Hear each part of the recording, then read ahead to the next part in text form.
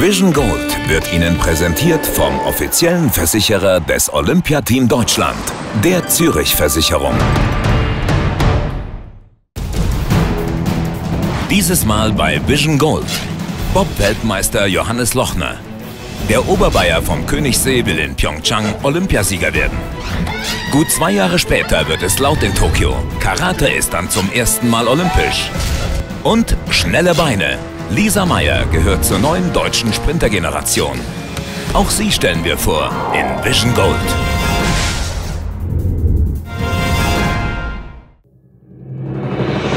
Zwischen Watzmann-Massiv und dem Grünstein liegt malerisch eingebettet der klare Königssee.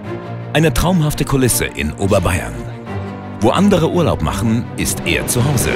Bob-Weltmeister Johannes Lochner, 27 Jahre alt. Mitte Oktober treffen wir ihn in seiner Heimat. Das ist ein echter Traum. Wir haben zwar nicht immer so schönes Wetter wie heute, aber wenn es mal schön ist und Sonne rauskommt, ist es echt einer der schönsten Flecke, die ich kenne. Hier am Königssee gibt es eine der modernsten Kunsteisbahnen der Welt. 1960 erbaut, damals eine absolute Neuheit. Auch heute noch fester Bestandteil des Weltcup-Kalenders.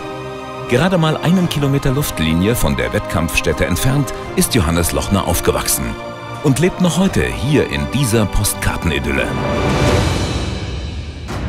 Die Eltern Edith und Hans betreiben in Schönau am Königssee ein Elektrogeschäft in zweiter Generation. Sohn Johannes studiert in die gleiche Richtung und wird den Betrieb einmal übernehmen. Ja, Familie ist das, was mir den Rückhalt gibt von dem Ganzen. Wenn irgendwas nicht läuft, äh, ich habe das beste Verhältnis, was man sich vorstellen kann zu meinen Eltern. Die unterstützen mich in jeder Hinsicht und mit jedem Problem, auch wenn es noch so peinlich und noch so groß ist, äh, kann ich zu meinen Eltern gehen und die sind immer für mich da. Der Bobsport und die Familie Lochner, das gehört schon lange zusammen. Vater Hans war früher Anschieber, dessen Bruder Rudi sogar als Pilot Weltmeister und Olympia-Zweiter. Trotzdem führt der Weg von Johannes nicht automatisch zur gleichen Sportart. Opfern kam dann eigentlich eher so zufällig. Ich habe mit 16 im Leistungssport aufgehört vom alpinen Skifahren, war dann zwei Jahre eigentlich nur mit Freunden Party machen, was man halt dann so macht in der Pubertät. Und dann so mit 18, 19 kam dann wieder irgendwie so, das, das fehlt einem was im Leben, dass der Leistungssport einfach abgeht. Und dann habe ich äh, mich umgehört und habe meine Eltern natürlich gesagt und mein Onkel, jetzt gehst du mal zum Bobfahren, probierst das, setz dich mal rein. Ja, habe ich dann gemacht, erste Bobfahrt und von da an wusste ich genau, das ist es, das macht Spaß, das brauche ich und das will ich machen. Die Geschwindigkeit im Eiskanal hat es ihm direkt angetan. Entweder ist es Liebe auf die erste Fahrt oder ein Gefühl von einmal und nie wieder. Dazwischen gibt es nichts, sagt Lochner, der sein Herz direkt verloren hat. Er beginnt als Anschieber, wechselt aber schnell nach ganz vorne in den Bob.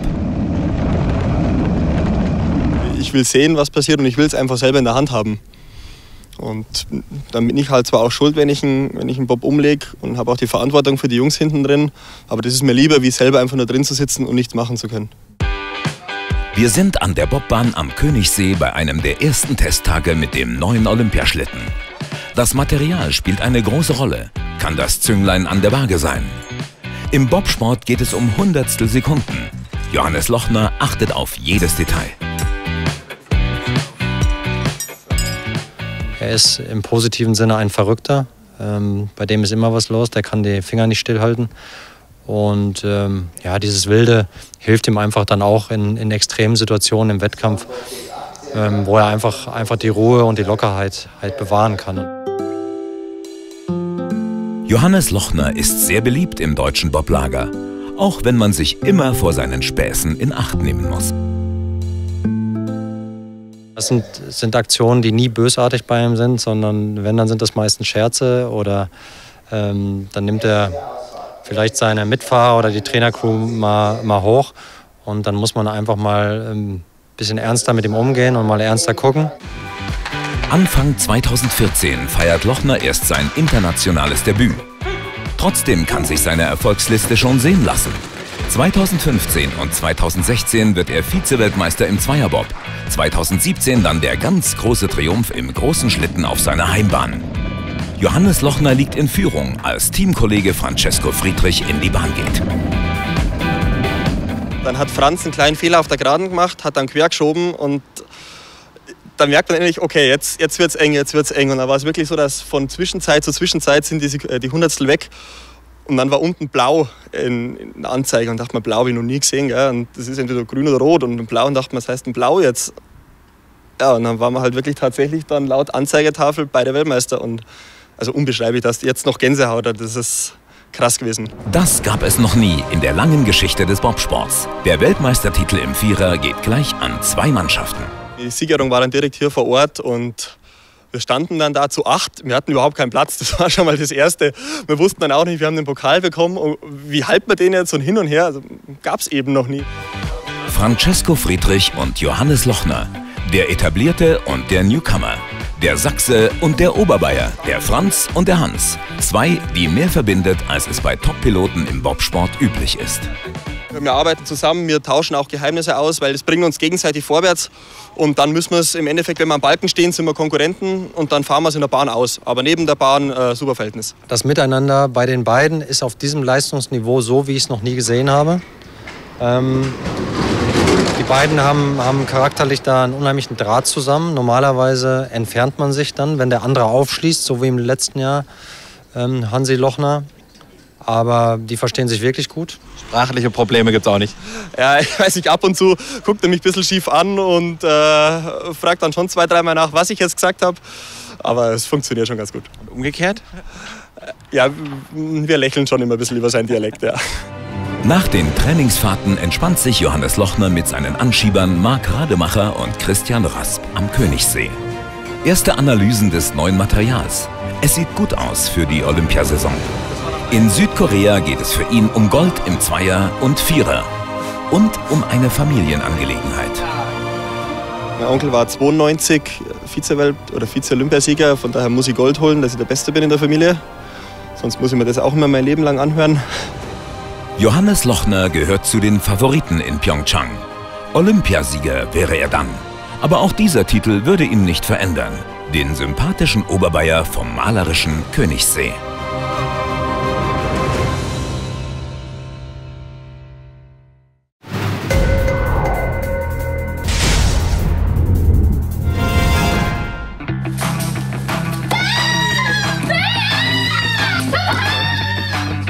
Es wird laut in Japan bei den nächsten Sommerspielen. Denn Karate wird erstmals das olympische Programm bereichern.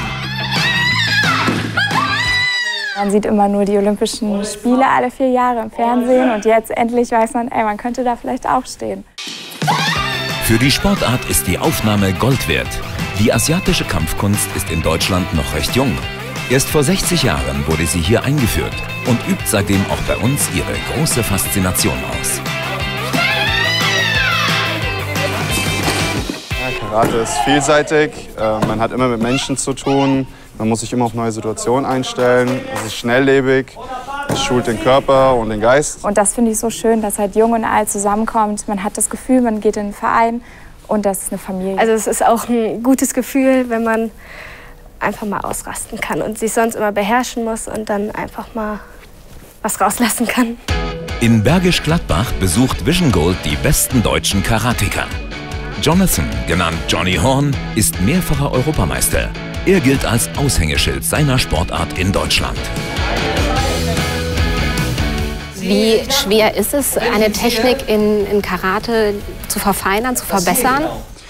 Ja, es, man denkt, es ist einfach oder es sieht von außen einfach aus, aber das sind schon ein paar Tausende von Stunden, wo man doch damit arbeiten muss um die perfekte Technik, auch natürlich die perfekte Technik für sich zu finden, optimal zum Körper und optimal zu seiner Geschwindigkeit. Und ich würde sagen, das dauert schon ein paar Jährchen, bis man das mal optimal drin hat. Das bedeutet morgens und abends Training, jeweils 90 Minuten. Und das fast jeden Tag. Ein hartes Programm. Johnny ist 28 Jahre alt und schon lange dabei. Für ihn eher ein Vorteil in seiner Sportart. Im Alter kommt auch die Weisheit, sage ich immer. Und weil man so lange auf dem Level gekämpft hat, kennt man auch gewisse Kampfsituationen, die die Jungen noch nicht so kennen. Die sind zwar natürlich wilder und affiner und wollen mehr, aber mit dem Alter kommt auch die Abgeklärtheit. Johnny, Sohn einer Deutschen und eines US-Amerikaners, studiert an der Sporthochschule in Köln. Möchte gerne mal Karate-Bundestrainer werden. Aber noch stehen die eigenen sportlichen Ziele im Vordergrund.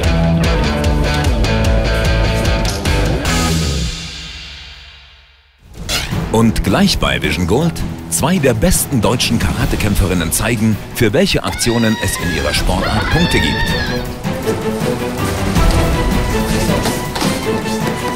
Dazu besuchen wir eine der besten deutschen Sprinterinnen. Lisa Meyer, 21 Jahre alt. Sie studiert an der Universität in Frankfurt Germanistik und trainiert in Mannheim. Gleich geht's weiter mit Vision Gold, präsentiert vom offiziellen Versicherer des Olympiateam Deutschland, der Zürich Versicherung. Zurück bei Vision Gold und den deutschen Karatekämpfern. 2020 in Tokio wird die Sportart zum ersten Mal olympisch. Das verändert so einiges. Die Aufmerksamkeit steigt, die Anspannung auch. Denn alle wollen natürlich dabei sein, wenn es um die ersten olympischen Medaillen geht.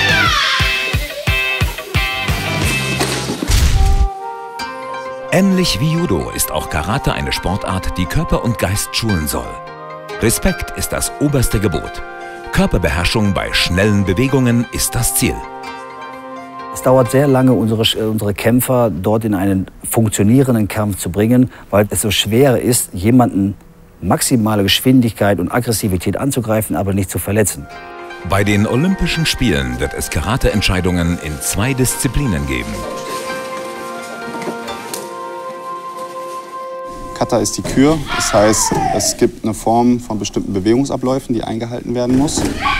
Äh, die präsentiert man dann vor den Kampfrichtern. Und Kumite ist einfach der Kampf gegen einen anderen Gegner, also der Zweikampf. Und da geht es äh, darum, über die Zeit mit Punkten zu gewinnen. Punkte gibt es für angedeutete Schläge und Tritte. Jana Bitsch und Shara Hubrich, zwei junge Damen aus dem deutschen Nationalteam, zeigen, für welche Aktionen es Wertungen gibt. Erklärt wird die Demonstration von Bundestrainer Thomas Nitschmann.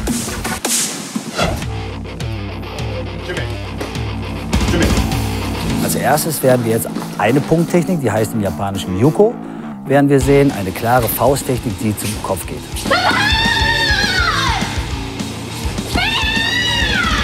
Jetzt sehen wir eine weitere einzelne Wertung, auch einen Yuko. Ja? Die Trefferfläche ist aber hier der Körper. Jetzt sehen wir die ersten Fußtechniken, die zwei Punkte bringen. Die gehen auch dann in den Körper.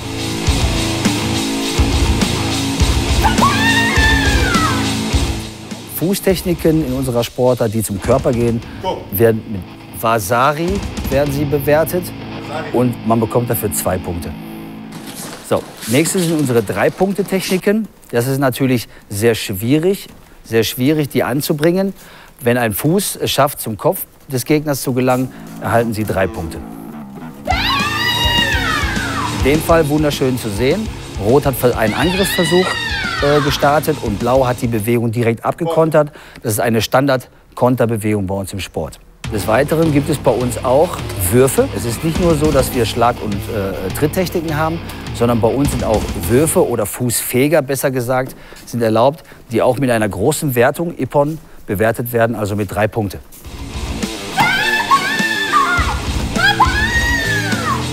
Es reicht nicht aus, dass die Technik nur bei uns im Karate am Körper ist, sondern die muss auch eine gewisse Form haben. Die muss eine gewisse Geschwindigkeit haben, sie muss eine Kraft haben und vor allen Dingen letztendlich nach der, nach der Technik muss der Kämpfer noch in einer Position stehen, wo er noch weiterhin kämpfen kann. Wir nennen das Sanshin. Die Ästhetik spielt eben eine große Rolle in dieser asiatischen Kampfsportart, die in Deutschland auch nach 60 Jahren immer noch nicht richtig Fuß gefasst hat. Ich finde, dass, das, äh, dass die Sportart Karate in Deutschland extrem untergeht, dass die meisten gar nicht wissen, was es ist und dass es auch kaum gefördert wird.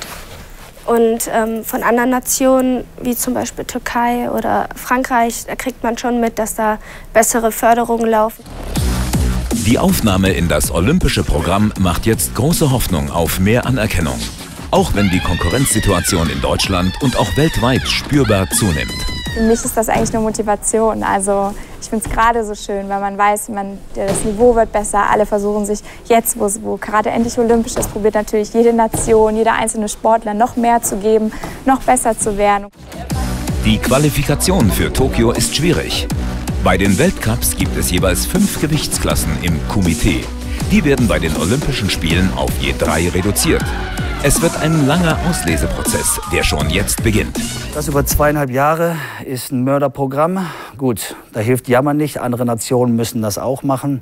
Wir haben gute Chancen und ähm, wenn ich mein Team sehe, sage ich, werden wir mit drei, vier Leuten uns dort qualifizieren.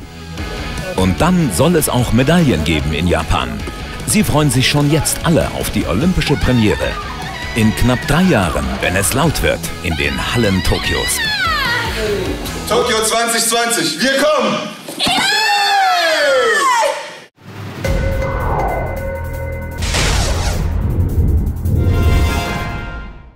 In Frankfurt an der Goethe-Universität treffen wir auf eine junge Sprinterin.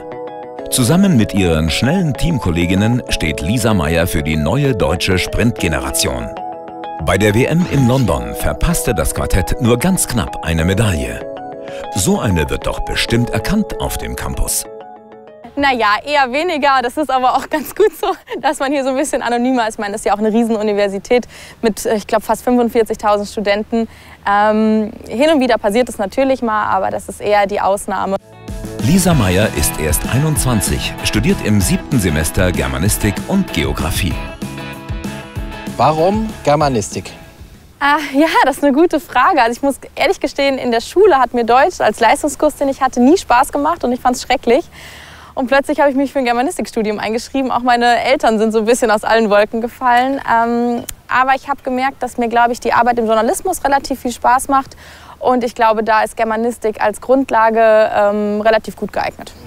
Schon früh plant und fährt sie zweigleisig, aus gutem Grund. Ja, ist ja kein Geheimnis, dass man von der Leichtathletik oder von vielen Randsportarten ähm, nicht sonderlich gut leben kann. Derzeit funktioniert alles gut, ich kann mich gut finanzieren, ähm, aber für danach reicht es eben nicht. Und irgendwann ist ja der Sport auch mal vorbei und man will dann ja auch was machen, was einem wirklich Spaß macht, was einem Freude bereitet. Und da ist es eben ganz wichtig, sich schon frühzeitig ein zweites Standbein aufzubauen, ähm, um dann nicht nach dem Sport mit leeren Händen dazustehen. Lisa Meyer lebt in einem Frankfurter Stadtteil. Von dort geht es fast jeden Tag 80 Kilometer zum Training und zur Behandlung nach Mannheim. Pendeln für den größtmöglichen Erfolg. Nach einem perfekten Start in das Jahr 2017 mit einer persönlichen Bestleistung über 60 Meter in der Halle macht im Sommer der Muskel zu. Auszeit, eine schwierige Zeit. Sie ist ja ein absoluter Profi in ihrer Einstellung und will natürlich immer die beste Leistung bringen. Und wenn man dann selber merkt, dass trotz Zutun, ein eigenes Zutun oder fremdes Zutun die Heilung nicht so stattfindet, dass ich meine Leistung entsprechend abrufen kann, wird man schon unruhig. Und auf der anderen Seite muss man dann wiederum die Ruhe, die nötige Ruhe bewahren, um auf, von dem Weg nicht abzukommen, den man bestreitet, zu sagen, du, wir bauen ein Defizit nach dem anderen ab und dann wird es schon sich wieder irgendwann einstellen, dass du zu deinem Erfolg kommst. Mit Christian Ziegler arbeitet Lisa Meyer seit einem Jahr zusammen. Es ist schnell ein Vertrauensverhältnis entstanden. Das vollständige Ausheilen der Verletzung lohnt sich. Bei der WM kann sie zumindest wieder mit der Staffel antreten. Bis dann. Ciao, ciao. Tschüss. Mitte Oktober ist für die Sprinterinnen Grundlagentraining angesagt. In Mannheim wird viel für die Leichtathletik getan. Im Breiten- und im Spitzensport. Neben Lisa Meyer, die sich vor einem Jahr dieser Gruppe angeschlossen hat, trainiert zum Beispiel auch Nadine Gonska hier unter dem erfahrenen Trainer Rüdiger Haxen. Mit Gonska verbindet Meyer eine Freundschaft. Perfekte Bedingungen für die junge Frau, die erst spät mit elf ihre Liebe zur Leichtathletik entdeckt hat. Wann haben Sie denn das erste Mal gemerkt, dass Sie schneller laufen können als viele andere? Auch das hat sich so dann 14, 15 immer mal wieder so gezeigt, hat man erste Erfolge auf Hessenebene gefeiert und ähm, ja, dann ganz überraschend habe ich mich für die U18-Weltmeisterschaften qualifiziert, wo ich gar nicht mit gerechnet habe. Ich habe da nicht drauf hintrainiert und da ist natürlich dann so ein Knoten geplatzt, wo man gesagt hat, hey, okay, ich glaube, da ist dann doch vielleicht ein bisschen mehr Potenzial. Ihr Potenzial kann sie in der neuen Trainingsumgebung noch professioneller ausschöpfen. Im März zahlt sich das mit Platz 5 bei der Hallen-EM schon aus. Ein starkes Ergebnis, denn Lisa Meyer gilt nicht als beste Starterin. Da hat man auch so zum ersten Mal gemerkt, dass vielleicht ähm, die neuen Impulse einem auch gut getan haben, auch wenn vorher vieles gut gelaufen ist. Ich war vorher schon bei Olympischen Spielen, ähm, aber eben, dass da jetzt noch sich ein bisschen was getan hat, dass man auch den richtigen Weg vielleicht eingeschlagen hat. Rüdiger Haxen hat für diesen Tag Zirkeltraining angeordnet. Schwitzen für die letzten Sekundenbruchteile. 11,14 ist Meyer letztes Jahr in Berlin gelaufen. Da fehlt nicht mehr viel bis zur Traummarke aller Sprinterinnen. Die elf Sekunden, das muss einfach passieren. Man kann da nicht drauf hinarbeiten und man kann nicht sagen, so heute will ich unter elf Sekunden laufen. Man muss in seinem Sprintflow sein. Das heißt, da muss schon viel passen, damit das funktioniert. Nichtsdestotrotz ist es irgendwann mal mein Ziel. Wann allerdings, da muss man realistisch bleiben und einfach gucken. Der Höhepunkt 2018 für Lisa Meyer wird die Heim-EM in Berlin sein. Nach ihrer Wunschschlagzeile für dieses Event gefragt, sagt sie, deutsche Sprinterinnen feiern Erfolge. Sie denkt eben nicht egoistisch, freut sich auch über gute Läufe ihrer schnellen Kolleginnen. Ich denke, dass der deutsche Sprint ähm, wirklich zurzeit so unglaublich stark ist und dass da nicht nur eine Sportlerin heraussticht, sondern dass wir in der Breite so, so stark sind, ähm, also in der breiten Spitze sozusagen. Und ähm, ich hoffe, dass da auch mehr als eine Medaille fällt. Eine sympathische Einstellung. Lisa Meyer ist mit großer Leidenschaft dabei. Sie macht sich keinen Druck. Obwohl sie am Ende im Rennen alleine dafür verantwortlich ist, wie schnell sie läuft, ist ihr der Teamgedanke doch extrem wichtig. Wie allen Sportlerinnen und Sportlern, die dieses Mal bei Vision Gold mitgemacht haben. Ich liebe den Sprint so, weil er trotz Individualsportart einfach verbindet. Man ist trotz allem ein Team, eine Gemeinschaft. Man erlebt so viele unglaubliche Augenblicke gemeinsam. Man muss schon kämpfen, damit und das eigentlich ein bisschen ausblenden, dass man da noch drei drin hat. Natürlich darf man nie den Respekt verlieren vor der Sache. Aber du hast einfach die Verantwortung für die Jungs und die können nichts machen. Wenn ich vorne schlecht fahre, dann müssen die leiden, weil ich einen Fehler mache. Ich liebe den Sport so sehr, weil da einfach jede soziale Schicht, jede, jede Person aus den unterschiedlichsten Kulturkreisen den weißen Gier anziehen und einfach eins sind. In dieser Reportage haben wir viele junge Sportler kennengelernt, die auf unterschiedliche Art und Weise mit Geschwindigkeit umgehen. Einen Bobfahrer, der versucht, die Geschwindigkeit zu kanalisieren. Karateka, die versuchen, die Geschwindigkeit ihrer Bewegung zu kontrollieren. Und eine Sprinterin, die versucht, ihre Geschwindigkeit zu optimieren.